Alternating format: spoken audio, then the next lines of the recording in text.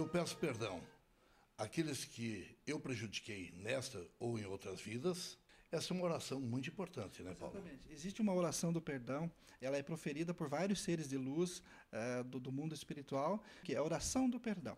E também tem uma da Madre Teresa que eu coloco no livro, que é a prece do perdão. E justamente para que, que serve o perdão? Para reconciliar aquilo que está uh, ou ficou numa situação mal resolvida, porque nós caímos num foco familiar, Correto. num foco social e nessas idas e vindas eh, existem contratempos, existem ideias diferentes e muitas pessoas ou seres, seja familiares ou não, se truncam nessas ideias e acabam ofendendo, machucando ou sendo machucados. E nesse sentido, o que a espiritualidade quer? Que haja uma reconciliação. Porque vamos que o amanhã termine para mim amanhã, ou para ti, certo? Nós temos que estar em dia com tudo. Eu abracei meu filho, minha filha, minha esposa, meu pai, minha mãe, os seres que eu tenho ao meu redor, amigos. Então esteja tudo em dia para que eu não possa ter um, uma consciência de arrependimento, mesmo depois da morte. Por e tenha que querer voltar para cá pedir perdão ou perdoar alguém. Por isso é importante da oração em vida. É, é, mortes coletivas. E, e, por que tem acontecido tantas coisas?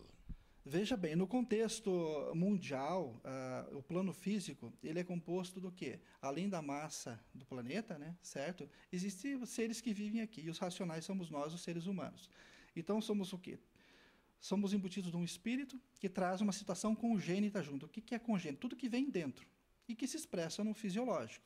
Então tem pessoas que nascem em áreas mais perigosas, países que têm menos alimentação, ou nascem em lares que têm menos condição tem pessoas que nascem numa lona preta e são seres fantásticos, amorosos, só que estão numa condição diferente daquele que tem um palacete e que trabalha e tem. Então, nesse contexto, muitas pessoas se questionam por que Deus, sendo Deus que não castiga, coloca alguém aleijado e alguém são. É uma pergunta que todo mundo faz, com certeza. Então, nesse sentido, a espiritualidade vem responder isso através de vários seres de luz, de várias literaturas que tem, certo? Desde o kardecismo, certo? Então, o que, que explica isso? Que se a pessoa não errou nessa vida e está sofrendo, tem um tumor, morreu com tal idade, por que isso? Você não fez nenhum erro agora. Aí que a gente entra no processo vida passada, o inconsciente, onde está registrado todas as ações que o espírito teve em quantas vidas teve antes dessa aqui. E na atual está o quê? Liquidando contas, né? Duplicatas, chamo isso de karma, né? Porque uhum. o Allan Kardec codificou como isso. Mas o que é karma?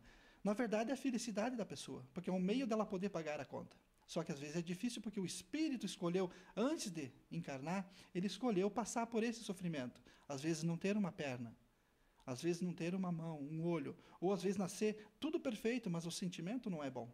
Sofre por amor, sofre por depressão e coisas que vai acumulando nessa existência também. Então tudo é uma somatização, é uma psicossomatização, porque envolve a psique, né? que é a mente.